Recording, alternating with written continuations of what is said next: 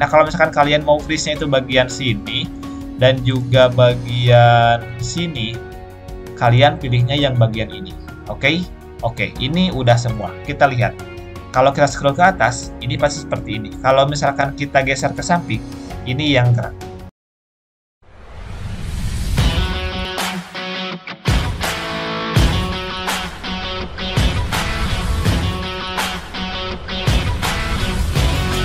Jangan lupa untuk subscribe dan bunyikan lonceng notifikasinya. Assalamualaikum warahmatullahi wabarakatuh. Halo teman-teman semua Selamat pagi, selamat siang, selamat sore Dan juga selamat malam Di mana pun kalian berada. Balik lagi bersama aku Teten Rizwan. Nah jadi teman-teman di video kali ini Aku akan kembali lagi berbagi tutorial Bagaimana cara agar mengsplit uh, apa ya file ataupun draft ataupun data kita di Excel agar agar nantinya kita bisa memudahkan uh, dalam peninjauan data yang sudah kita buat. Nah, jadi teman-teman uh, mengsplit ataupun membatasi apa ya kayak row ataupun kolom di Excel ini itu penting bagi teman-teman ataupun bagi teman-teman yang ada di organisasi ataupun dalam pekerjaan ini itu sangat memudahkan juga ketika kita ingin melakukan peninjauan agar nantinya ketika kita mengscroll ataupun kita menggeser di bagian bawahnya itu kita itu lebih mudah dan tidak perlu lagi melihat baik itu namanya ataupun hal-hal yang penting yang perlu kita apa ya pastikan dan di bagian mana gitu kita ada yang salah atau enggak. Nah di video kali ini aku akan berbagi tutorial bagaimana cara untuk mengsplit uh, data kalian ataupun mengsplit sebuah data Excel yang ada di Microsoft Excel juga. Nah, uh, oke okay, tanpa berlama-lama mungkin langsung saja kita masuk dulu ke apa ya? ke tampilan Excel teman-teman. Kalian dapat buka dulu Drive ataupun kalian dapat buka dulu file-file teman-teman yang akan kalian split. Nah, kurang lebih datanya seperti ini. Nah, kalau misalkan seperti ini kan uh, kalau misalkan ini belum di split ya. Jadi kalau misalkan belum di split, misalkan kita bagian di pemateri 2 ataupun penilai 2. Nah, di sini itu ketika kita ingin menilai, kita tuh harus gini dan bagian kiri di sini uh, seber, sebagai apa ya parameter kita tuh malah tertutup sehingga kita harus uh, kesinikan lagi untuk melihat uh, apa sih yang perlu diperhatikan dalam parameter ini. Nah, bagaimana caranya agar nantinya itu ketika di scroll ini pun tetap ada, ketika digeser ke sini, daerah sini pun, daerah ini, ini masih ada. Jadi dapat mengefisiensikan waktu kita dalam pengerjaannya. Nah, di sini teman-teman aku akan menjelaskan dulu barangkali teman-teman butuhnya itu bukan hanya sekedar ini tapi teman-teman pun maunya cuma uh, ini doang yang dapat terlihat. Ataupun kalau misalkan gini ya, ini doang gitu yang dapat terlihat dan ininya enggak bebas aja. Dan ini pun akan aku jelaskan secara lengkap. Jadi teman-teman dapat perhatikan uh, apa yang aku apa yang aku jelaskan ini. Nah, di sini teman-teman pertama-tama kita akan belajar bagaimana cara untuk mengsplit uh, bagian ininya aja. Jadi bagian atasnya doang. Jadi nanti yang bergeser tuh bagian ininya aja. Jadi ini gini tuh bagian daerah sini nih uh, ini tuh dapat tetap diam. Nah di sini teman-teman caranya itu kalian dapat blok dulu ini kalian tekan ini. Nah kalau udah seperti ini kalian masuk ke bagian views ini. Nah kalau kalian udah masuk ke bagian views kalian pilih yang freeze pens nah kalau udah gini kalian tinggal pilih yang ini teman-teman Oke, dan ini udah jadi. Kita lihat apakah ini work atau enggak. Nah, di sini. Nah, jadi di sini teman-teman. Seperti yang aku utarakan tadi bahwa daerah sini itu dia akan terfreeze, dia akan tersplit dan nantinya eh, ketika kita scroll ini pun akan seperti ini. Jadi kita memudahkan oh ini bagian ini, ini ini ini dan lebih mudah gitu teman-teman. Nggak seperti tadi di sininya itu udah hilang nanti harus kita harus scroll lagi ke atas. Tapi kalau udah seperti ini ini memudahkan kita dalam mengecek sesuatu mengecek file ataupun mengecek kerjaan kita.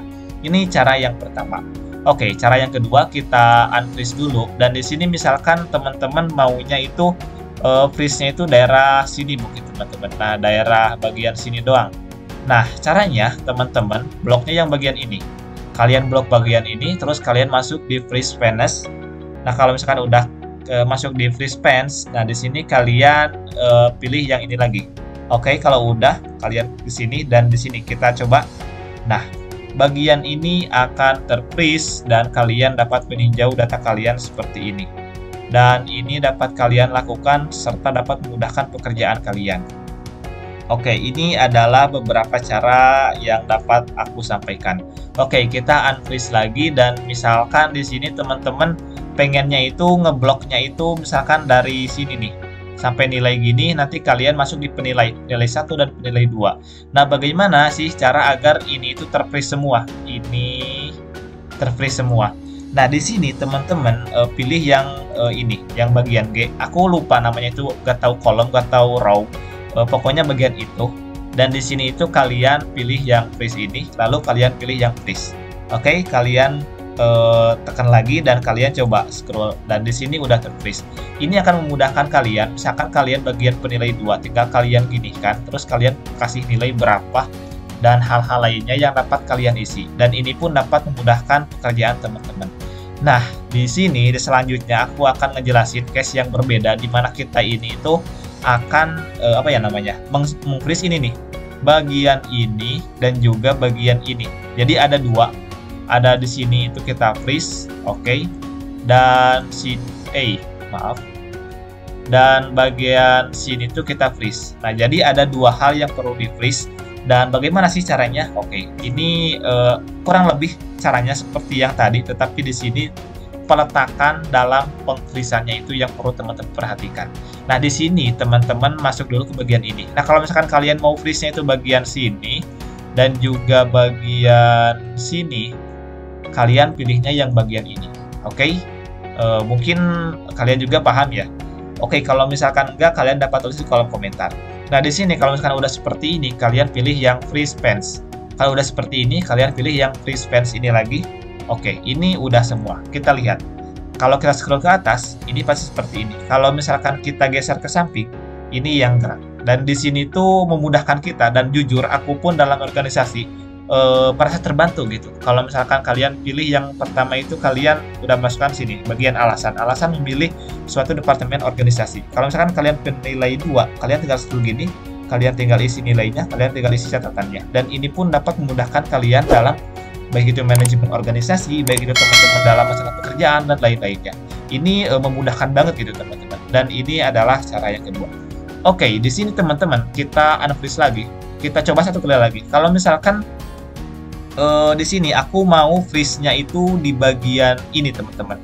Uh, di bagian parameter ini. Kita freeze-nya itu dari sini dan juga dari sini. Oke. Okay. Di mana sih peletakan yang bagus bagi teman-teman? Oke, benar sekali. Kalian freeze-nya itu daerah sini. Kalian pilih yang ini, terus kalian pilih yang freeze fence. Oke, kalau misalkan udah seperti ini, coba.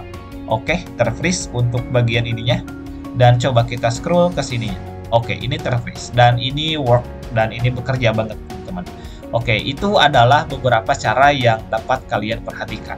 Nah, di sini teman-teman, aku juga mau ngejelasin juga ke teman-teman. Kalau misalkan kalian nggak mau nge-freeze, dan di sini tuh ada bisa jadi dua data gitu. Nah, kalian dapat pilih yang split. Misalkan seperti ini. Kalian mau split bagian ini. Kalian pilih yang split, dan ini udah tersplit, jadi ada dua data. Nah, di sini. Nah, ada dua data seperti ini. Dan ini pun mungkin dapat memudahkan teman-teman kalau teman-teman bekerja dan di sini pun kayak apa ya, di copy dua gini. Jadi ini tuh ada dua split antara ini dan juga ini. Dan kalian dapat apa ya, mengerjakannya secara ber berbarengan gitu teman-teman. Dan uh, jujur aku belum mencoba untuk apa ya pemrosesan bagian ini tapi di sini itu ini tuh apa ya bedanya antara freeze dan ini tuh kalau misalkan freeze ini tuh cuma memfreeze bagian ini doang kalau split ini tuh biar dia bisa membagi dua file ini itu sama-sama dan jadi bisa jadi dua kayak gini kalau misalkan kalian mau kembali lagi kalian tinggal pilih yang ini un unsplit. Dan dia akan kembali seperti awalnya. Dan ini pun sama kayak gini. Kalau misalkan kalian pilih yang bagian ini uh, ini misalkan kalian pilih oke okay, di sini aja deh. Kalian pilih yang ini terus kalian pilih yang split. Dan di sini pun akan tersplit. Jadi yang atas ini seperti ini yang bawah pun oke okay, yang bawah ini seperti ini. Nah jadi itu tuh tersplit dan ini tuh dibagi dua. Nah yang paling banyak aku lakuin adalah yang freeze ini. Kalau yang split aku jarang lakuin dan uh, seperti itulah mungkin beberapa tambahan ilmu yang dapat menjadi gambaran juga bagi teman-teman. Nah, oke okay, mungkin sekian dulu video yang dapat aku sampaikan. Semoga melalui video ini dapat memberikan gambaran kepada teman-teman bagaimana cara untuk memfreeze di sini bagian-bagian uh, apa ya bagian dari Excel data teman-teman sehingga dapat memudahkan pekerjaan ataupun dapat memudahkan penilaian teman-teman dalam suatu pekerjaan ataupun dalam dalam suatu organisasi. Oke, terima kasih telah menonton video ini sampai akhir. Jika video ini bermanfaat, jangan lupa untuk like, comment, subscribe, dan bunyikan lonceng notifikasinya. Jangan lupa juga untuk share ke teman-teman yang lain dan see you next video.